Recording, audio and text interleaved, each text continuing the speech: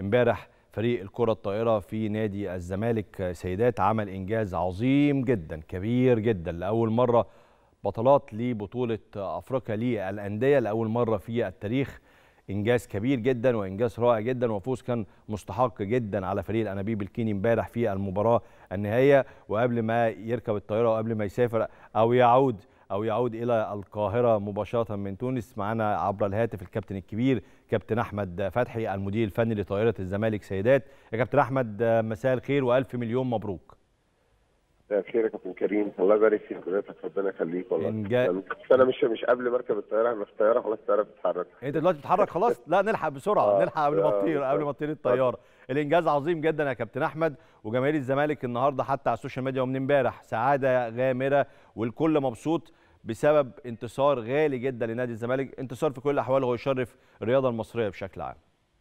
والله الحمد لله طبعا أنا بشكرك جدا وبشكر كل جماهير نادي الزمالك فعلا اللي حسسونا طول البطولة إن هم معانا وفي ظهرنا ويدعموا الفريق.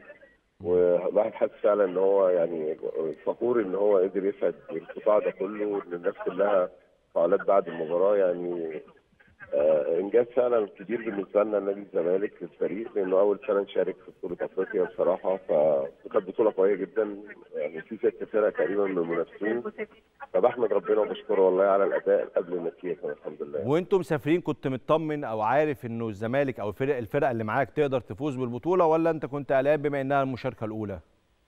والله مش والله يعني أنا مش هخبي على كان في قلق طبعا كبير بس آه الحمد لله الفريق نادي الزمالك في نهايه كأس مصر بعد ما لعبنا الدوري والكاس كانوا وصلوا فورمة كبيرة جدا من التجانس لأن أنت عارف إن كان عندنا عناصر من كذا نادي يعني انضموا لنادي الزمالك.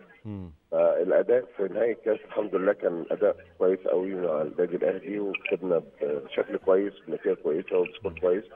فكان الواحد مطمن الحمد لله وإحنا عندنا برضو أربع لعيبة موجودين آه عندهم خبرات كبيرة في أفريقيا وكانوا بيلعبوا قبل كده سواء في المنتخب أو الأندية يعني. ويعني كنت كنت متوقع الحمد لله إن إحنا ممكن نوصل نهائي. الحمد مش لله مشاركة مهمة إن شاء الله في كأس العالم للأندية في الهند طموحاتك في هذه أوه. البطولة بإذن الله.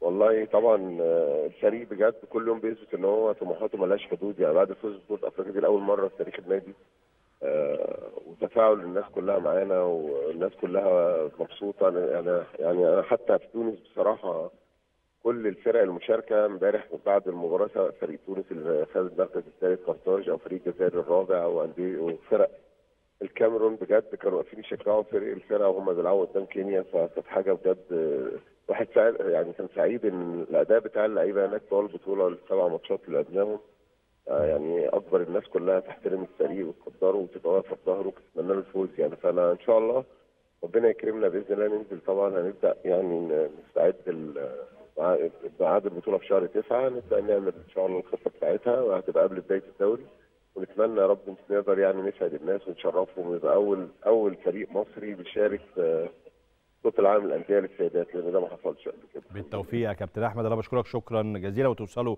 بالسلامة إن شاء الله وألف مليون مبروك كابتن أحمد فتحي المدير الفني لطائرة الزمالك سيدات من على الطائرة أثناء أو يعني استعدادا للعودة إلى القاهرة إن شاء الله بعد إنجاز الفوز ببطولة أفريقيا للأندية.